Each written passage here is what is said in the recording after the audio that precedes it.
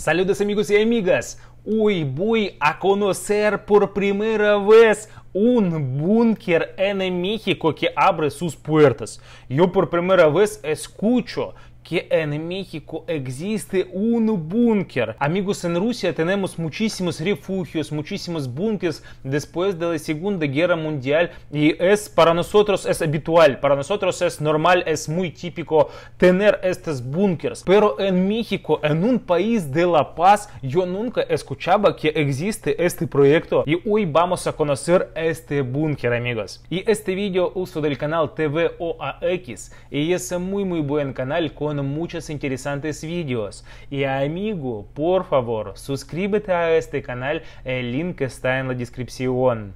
Y no olvides suscribirse a nuestra página de TikTok y nuestros Instagrams. Y vamos a reaccionar.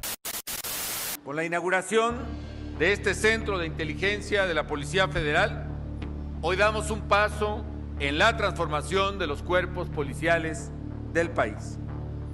Se trata de un verdadero cerebro informático de las fuerzas del orden que cuenta con tecnología de punta para la generación de inteligencia policial. De esta manera, la policía podrá ir un paso adelante de lo que va la delincuencia. Tomará tiempo, pero desde luego este es el camino que necesitamos recorrer.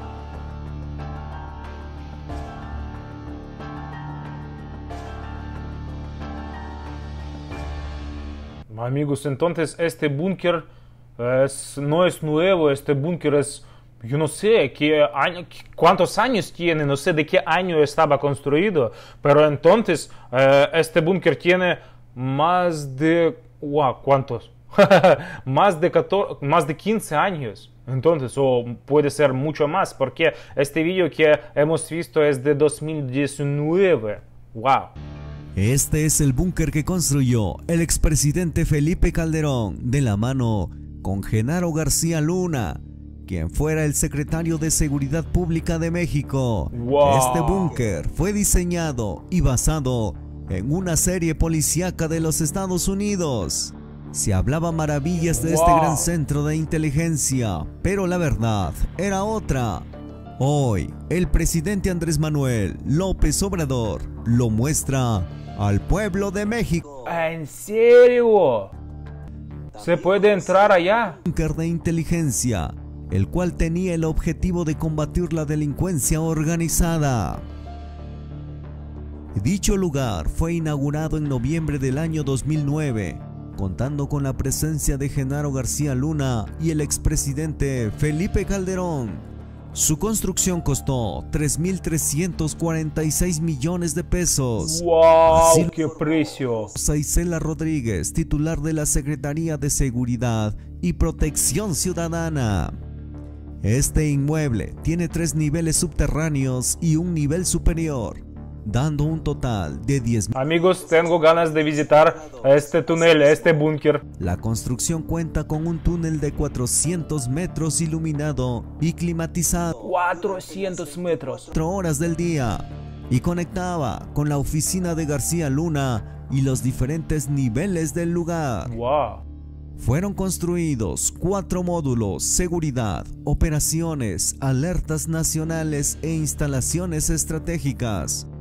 En la sala de operaciones se instalaron mapas y bases de datos como el registro de huellas dactilares y el de vehículos. En su momento, al lugar, Qué largo.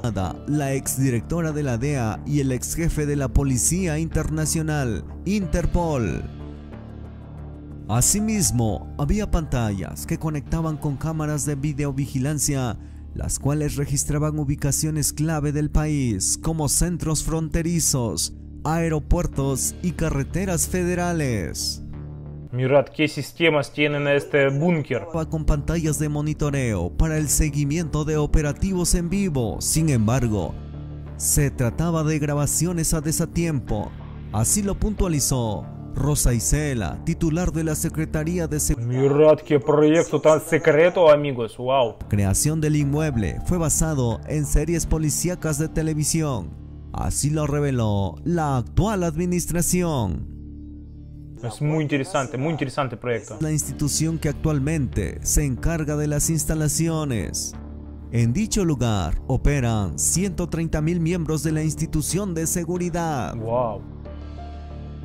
Y fue así como el presidente de México abrió las puertas de este gran búnker para que el pueblo de México lo conozca.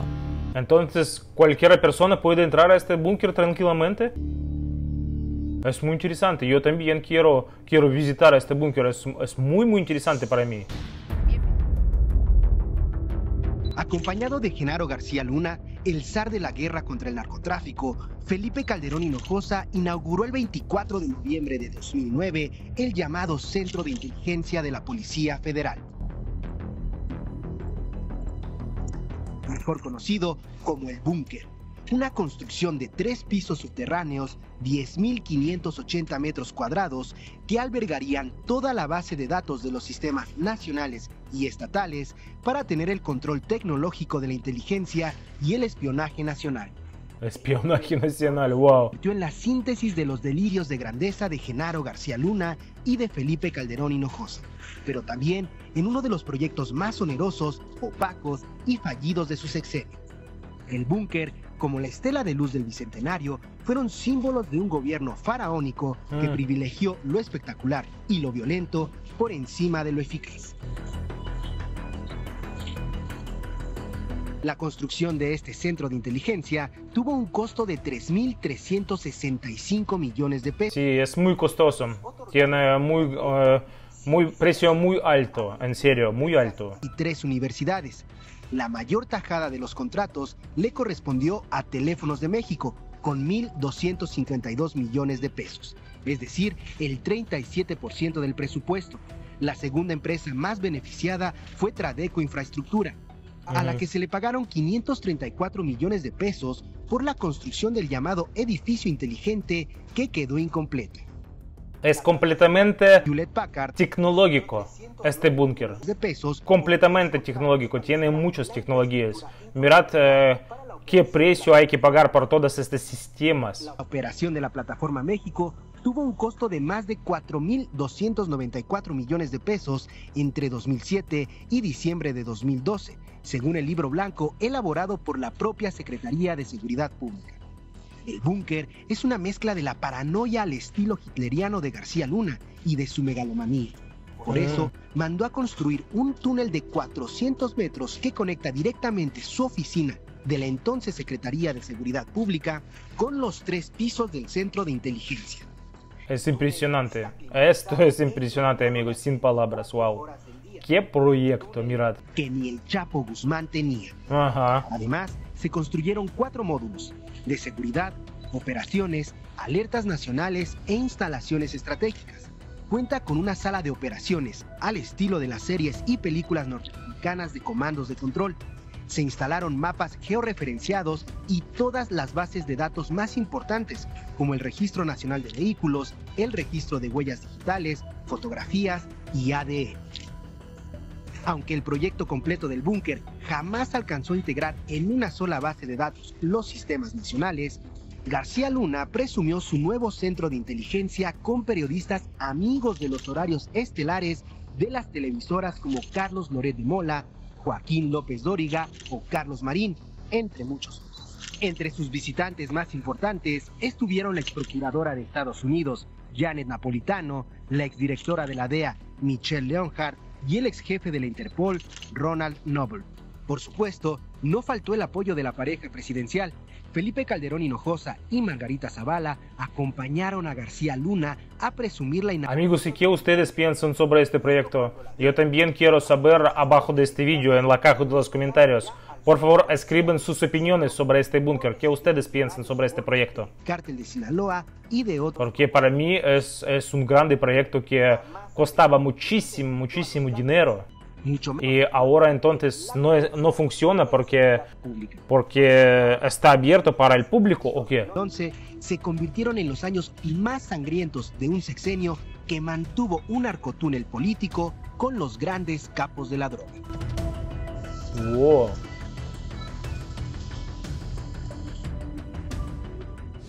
Rosa Isela nos va a explicar en qué consiste todo esto, que esto no es nada de lo que van a ver. Eh, eh, toda esta instalación, ¿no? Llamada búnker. Búnker. Sí, estuve ahora, pasé por el túnel ese que es impresionante. Este, pues de que eh, hubo eh, mucha prepotencia en todo, muchos excesos, porque esto es un asunto que no corresponde pues a lo que debe ser la impartición de justicia, mm. demasiado extravagante, muy costoso. Muy costoso, sí. Así espectacular, como de película. de verdad que sí. Además van a ver el túnel y este es impresionante. Y todo lo que les va a contar Rosa Isela, porque son instalaciones especiales. Y aquí venían eh, visitantes nacionales, extranjeros, mm. y era pues pura faramaya. No eh, se trabajaba para pacificar a México era pura fachada y muy costoso. Wow.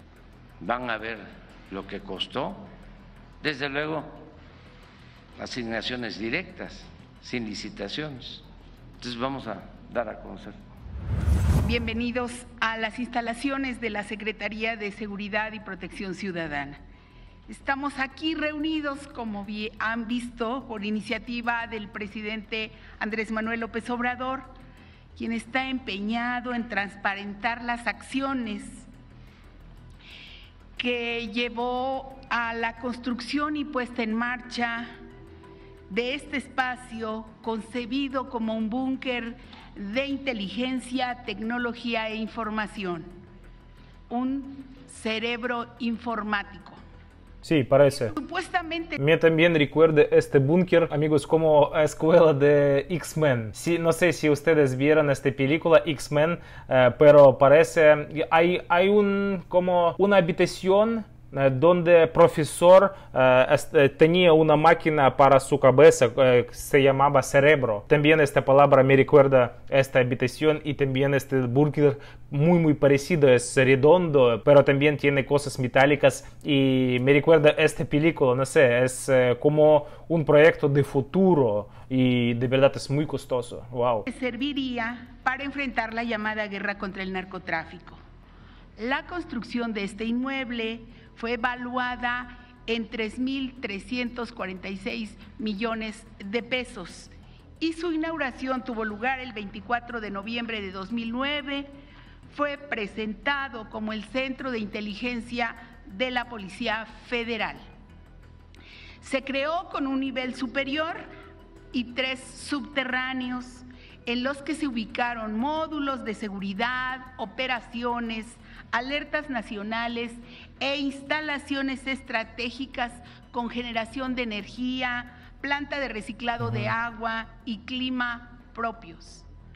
Lo equiparon con sistemas informáticos supuestamente, insisto, supuestamente conectados a más de 600 puntos en el país. Wow, y 169 Wow, qué proyecto. wow. Federal en la sala de operaciones que van a ver a continuación, se colocaron pantallas receptoras de cámaras de video vigilancia donde se monitoreaban los puntos estratégicos en todo el país, aeropuertos, carreteras federales, cruces fronterizos, entre otros, para labores de inteligencia. A través de las pantallas de monitoreo se tenían enlaces con equipos de vigilancia aérea para, según esto, realizar el seguimiento de operativos que supuestamente se realizaban en vivo, cuando en realidad eran grabaciones a destiempo. Wow. El megaproyecto no alcanzó su objetivo de integrar los sistemas nacionales en una sola base de datos. No hubo confianza de parte de las Fuerzas Armadas para mandar la información. Ahí están los centros de datos de las operaciones del pasado reciente. La realidad, como lo van a ver a continuación, este espacio era usado principalmente para que García Luna invitara a personajes de la vida pública, política, para demostrar la supuesta fuerza de inteligencia y el trabajo de la Policía Federal. Mm. Llenaron este centro de pantallas para apantallar. El entonces Wow. presidente Felipe Calderón declaró públicamente que basado en la serie policíaca de Estados Unidos 24 horas, decidió construir un sistema tecnológico como el que veía en la televisión. El encargado de concretar esta idea fue García Luna, que en ese tiempo se decía el mejor policía de México. Y hoy ya hace preso en la cárcel de Brooklyn, Nueva York, como es sabido, acusado de los delitos de conspiración para la distribución internacional de cocaína, conspiración para distribución y posesión de cocaína, Wow. conspiración para la importación de cocaína, participación en una empresa criminal y falsedad en declaraciones. ¿En serio? Hoy, la Guardia Nacional está Yo no sabía sobre esta persona. y se ha migrado hacia otros espacios las labores de inteligencia del gobierno mexicano. Ese no es el ejemplo que queremos para la estrategia de seguridad del Estado mexicano.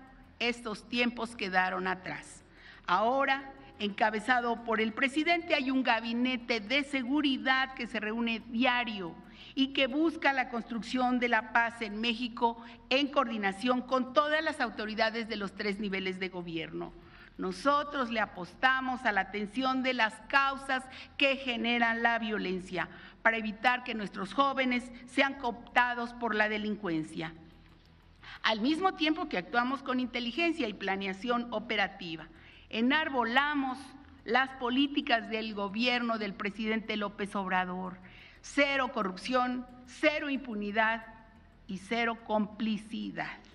Tenemos clara nuestra misión y compromiso. El compromiso es con el pueblo de México. Muchas Mm. gracias.